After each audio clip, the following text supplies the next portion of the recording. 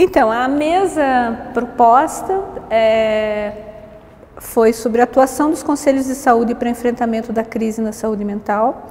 Ela foi proposta pela Maria de Lourdes, que é companheira da Comissão Intersetorial de Saúde Mental, né? ela compõe essa comissão que é dentro do Conselho Nacional de Saúde, e a ideia é a gente tentar uma aproximação dessa discussão do controle social dentro das políticas de, de saúde mental.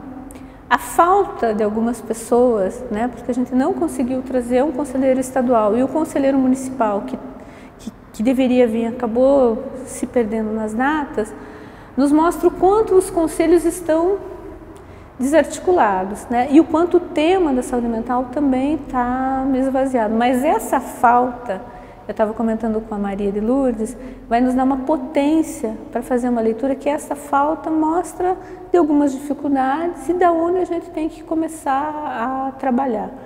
O nome desse evento, o subtítulo, né, Juntos nas Diferenças, Sonhos, Lutas e Mobilização Social pela Reforma Psiquiátrica. Eu ouso dizer que a mobilização social ela não tem que ser só pela reforma, ela tem que ser pelo SUS, pela Seguridade Social que está ameaçada, pela democracia que também é ameaçada. Sem saúde, é, sem cidadania, a gente não vai ter saúde, sem saúde a gente não vai ter cidadania. Então, eu acho que essas são as leituras que a gente faz e penso que a construção da articulação é isso é numa micropolítica, a gente anotou e-mail, a gente vai mandar material, a gente tentar fazer uma contaminação assim por contágio. Passa para um, passa para outro, para chamar as pessoas. Nesse momento, a psicologia tem que exercer seu papel de defensor dos direitos humanos, de agregador, né, não, como ciência e como profissão. Acho que que esse era o, o, papel. O papel do Conselho Nacional é o que a gente tem feito em todos os eventos que a gente vai. Hoje eu também fiz uma incidência na mesa sobre políticas de saúde mental que estava o Paulo Amarante, da necessidade de chamar as pessoas para as grandes lutas da saúde.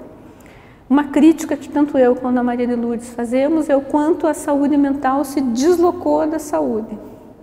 Parece que é uma luta à parte quando é a mesma luta. Eu acho que o próprio movimento, acho que ele foi se encapsulando, a gente foi se especializando em ser militante da saúde, em ser militante da saúde do trabalhador, em ser militante da saúde mental. E a gente, quando, quanto mais a gente afasta do, do todo, a gente vai perdendo essa visão, né? A gente fica só com um pedacinho.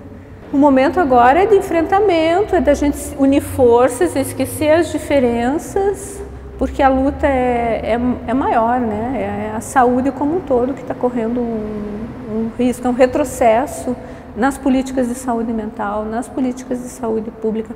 Hoje, especificamente hoje, o, diretor do departamento de HIV/AIDS pediu exoneração e fez uma carta denunciando as barbaridades que estão acontecendo nesse governo interino, machocrata e golpista que está destruindo, demolindo as políticas públicas arduamente construídas pelos movimentos sociais da AIDS, da redução de danos, da saúde mental. Então, todo mundo está correndo risco. E como eu falei hoje de manhã também, para quem entende da, sobre a Segunda Guerra Mundial, vai entender a analogia que eu vou fazer agora.